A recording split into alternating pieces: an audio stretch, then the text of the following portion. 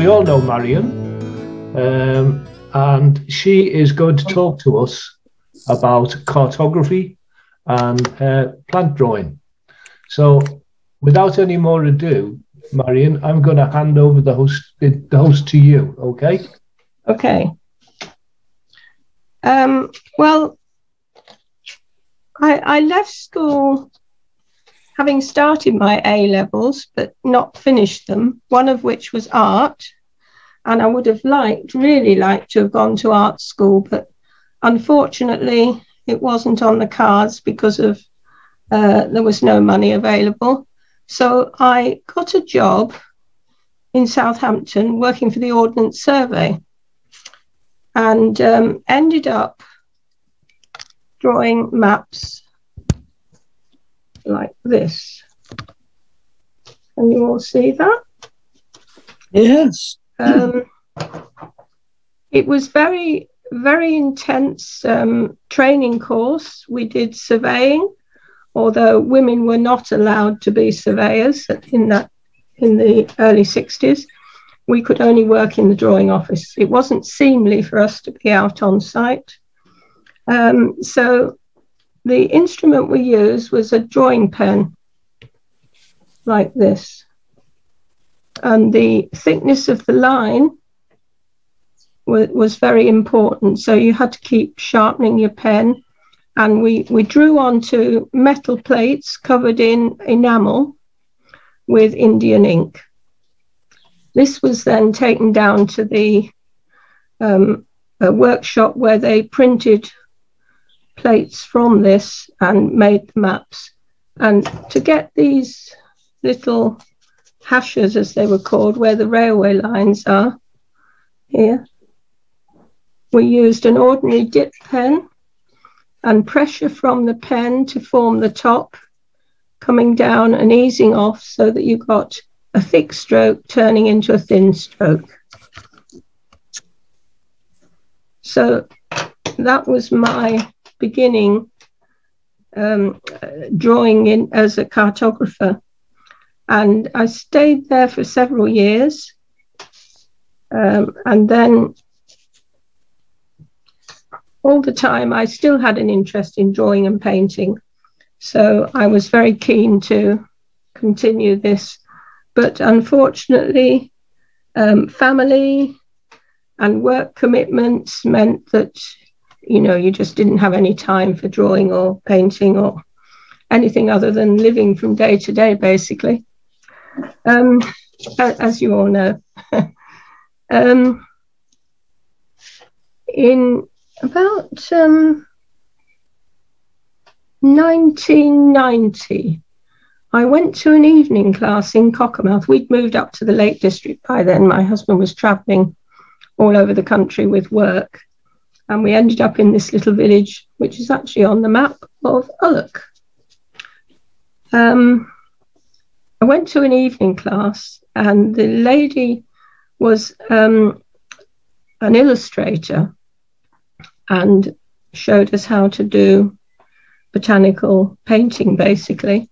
And I didn't realize that with watercolor and colored pencil, you could put layer upon layer upon layer of color to achieve the depth of, of color to give you that intensity that I think is is um, what I fell in love with. So this um, evening class lasted for a couple of years, and I was then working in a, um, a drawing office, architectural drawing office up here. this then um, moved on to me working um, and getting a qualification in building. And so I did eventually end up on a building site in spite of uh, all the restrictions there were in the 60s. In the 1990s, I was able to work on site. So I got there in the end.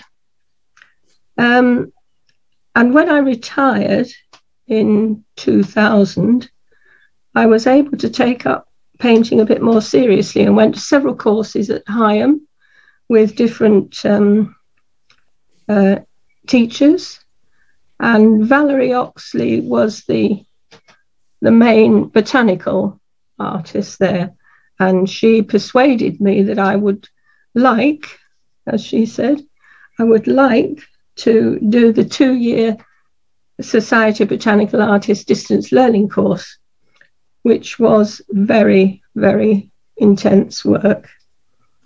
You had to produce a, a piece of work every two months, and it was strictly governed by um, style um, um, and type of material you were using. So we went from uh, graphite work through coloured pencil to watercolour.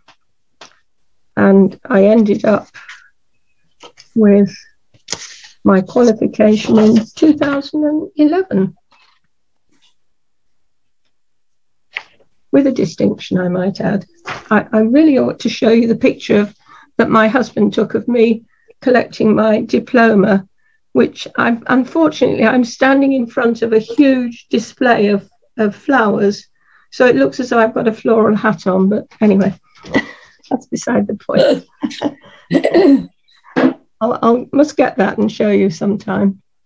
But um, we're here today really to talk about coloured pencil, which not my first love, to be honest. It's um, my first love is probably watercolour, but I have done during lockdown quite a lot of coloured pencil work because it's something you can pick up and, and leave as as and when you want because uh, it, it's it's static and it's good in that way. So I've I'll show you how I've started. I started with these um, photograph of these uh, crocuses, which really took my eye. It was the shine on the outside of the petals and the smoothness as they curved down inwards that really impressed me out in the garden. So I took the photograph. I then drew it freehand um, to scale and, and ended up with a, this tracing, which I transferred onto my watercolor paper. And in, in order to get the colors, mm. I used my sketchbook and I tried out all the colors. Here you can see on the right. I used I used a very fine pencil, um, clutch pencil, to do the drawing, but I've worked out which colors will give me this this purple, because obviously no colored pencil is going to give you the exact color that you want, and it's a matter of layering one on top of the other and to be honest, it's it's um, very hit and miss, but a lot of experience will tell you even the greens here are not one simple green, it's layer upon layer. So I've worked out what my final mix will be for the green here and the final mix here for my petals. So this is quite a simple drawing really, um, good for a demonstration I felt. So I did quite a bit of work in my sketchbook just to see how much how, how much depth I could get in the color. And uh, you can see here I've worked some of these petals up to full strength here, but these have only had about, these have had three layers on. This one's had four layers and this one's had five layers of pencil on. And the, the leaves were much simpler. They've only had three layers on. These up here have only had um, one layer on. So I'll, my coloured pencils lay out in a tray like this so that I have um, they don't roll off the table. That's quite handy for me. And I usually put them in order so that when I you either end up with um, a handful of pencils go from one to the other, but I like to lay them out in a tray like that. And if I can turn the camera around, you'll see the see the the amount of pencils that I have to choose from there. But it's important to get this right at this stage. So a lot of um, coloured pencil tutors will um, tell you to work. I need something for my hand because the grease from your hand will will transfer to the paper and then you won't be able to get any pencil on top. Um, a lot of coloured pencil tutors will tell you to use tiny circles to get the coverage initially. I find that a bit laborious and I prefer to use a method where I'm working from the darkest area to the lightest and working towards and in the direction that I feel the petal is formed. It's quite difficult to explain, but I think if you've got a cup shape and you're you're making cup shaped marks, then you'll get a better result uh, and it will look more natural. But as I say, little circles will cover, but it's a very light touch and your pencils must be very, very sharp. Can you see that point on there? Mm. So it will be one layer. Is, these are Derwent artists, which are quite a good all-round general pencil. And the fact that we can get them, fortunately, at Keswick is a real godsend. And on top of that, the next layer is this called Red Violet Lake. And eventually you will fill in all the um, indentations in the paper, the um, sort of tooth of the paper, but you need that tooth to take all the layers of, of pencil. So it is important.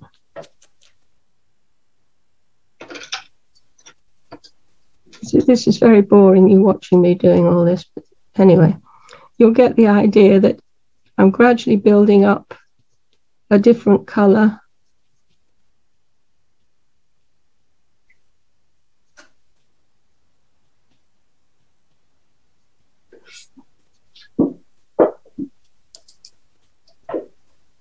And when we get to a certain stage, I'll work on this one here now.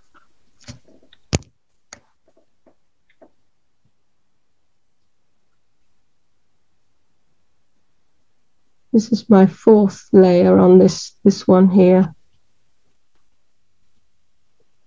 And I'm pressing a little bit harder now to get more of the pencil into the tooth of the paper. It's, it's a, um, this paper is um, Stonehenge, but uh, any uh, hot pressed watercolor paper is good for colored pencil, or you can use Bristol board, which isn't my favourite. I find it a little bit shiny and um, more difficult to work on, I think. I don't know. We've got quite a few really good coloured pencil workers in the audience, so I don't know how they feel, but um, and a lot of um, of you I know use Pastel Pastelmat, which I, I've never tried. So I can't tell you about that one.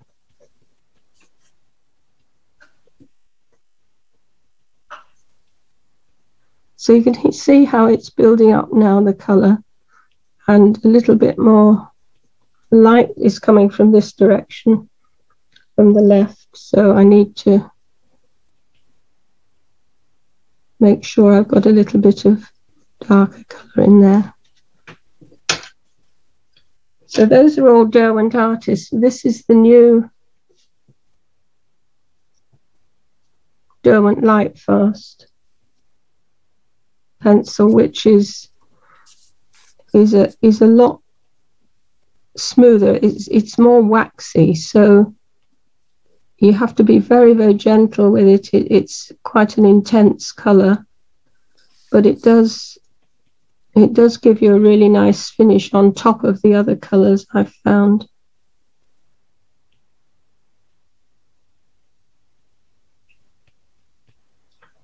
And then when I come to do this outside lip of the petal, I've only used um, two colours, three colours, I think. This is where I end up with holding them all in my hand. Oh, so again, I'm working from the outer edge to the inner edge. Well, it, sorry, the inner edge to the outer edge here.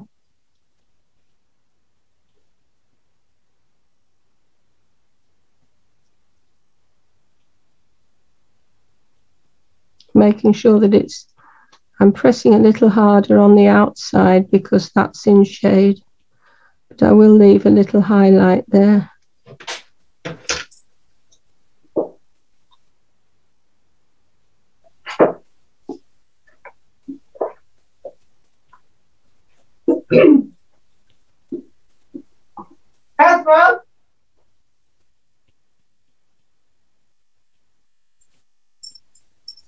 Always reinforcing the edge by, by going round the edge as well.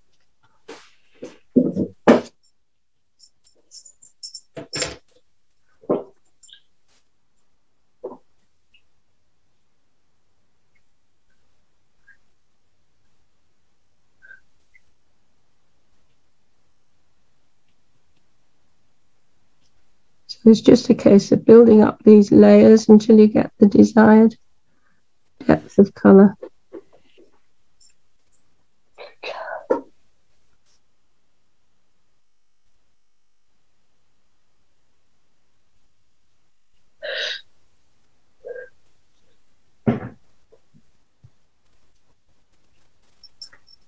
I can get totally lost in this, so um, I end up not speaking, which is very bad for a demonstration, but they are.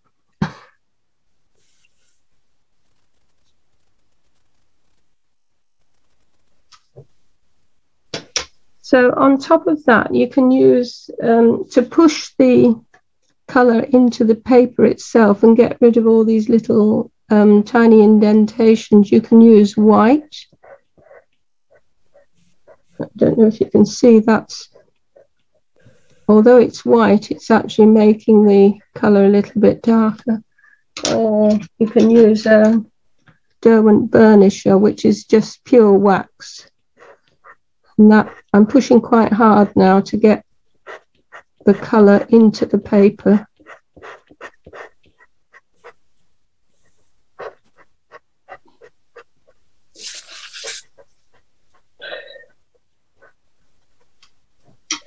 So that a bit more.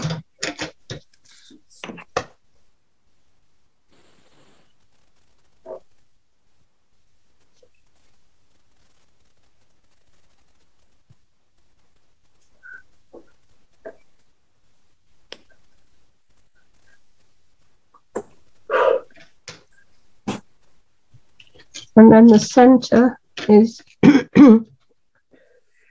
use the, I'll use the little circles on this because it's just a very small area.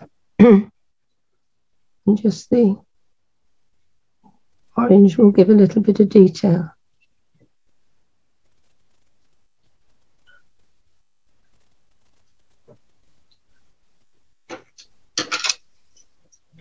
the three colors for the leaves, I started with a pale green.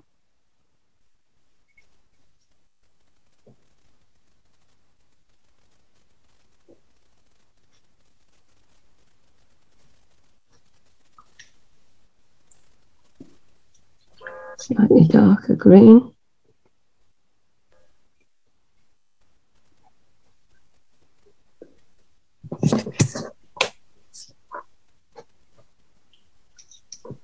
finally a bluer and more blue green to give a bit of shade.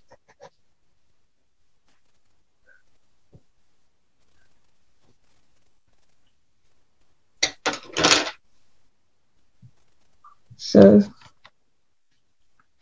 here's one I did earlier. Hopefully. Mm.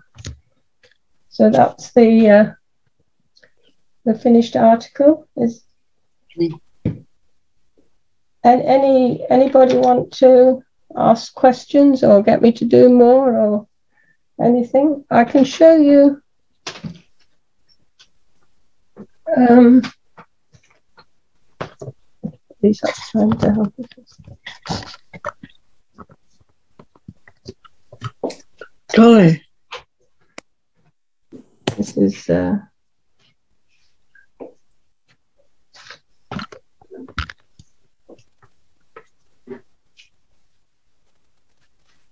yeah, that's foxglove with a bee um, that I did actually last summer.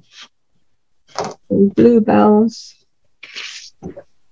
Yeah, yeah. You can see That's pencil. how many colours I've used in the Oh. bluebell because when you actually look at a bluebell, it isn't really blue. It's more pink, purple. Um, uh, it was very, very difficult to get the blue on that, I must admit. So, but I do like to include the little bee, same on the foxglove. Yeah. oh, Pineapple. is that pe- pencil? That's coloured pencil again. That's amazing. Yeah, that took me a long time, but I, I enjoyed it. It's wonderful. And. I was able to eat it afterwards as well. which was a bonus. So That's stunning. Wonderful. see down here where I've done a little trial Oh, of each yeah. little segment um, Yeah. with my with my pencil notes here. Gosh. And this is a hellebore that um, I did earlier this year. Oh. And I had a little go at um, pen and ink, which I quite enjoy doing. And leaves, leaves and conkers. Gorgeous. Any anybody want to ask any questions, Ted? Uh, can people unmute or Yeah, if anybody wants to ask any questions, you'll need to unmute yourself. Uh, Marion, do you do? You say that you prefer watercolor as a medium. yes? Do you have any examples of that you could show us Um, to compare with the colored pencils? right. Um, I actually did. Yes, I'm, I'm disappearing now.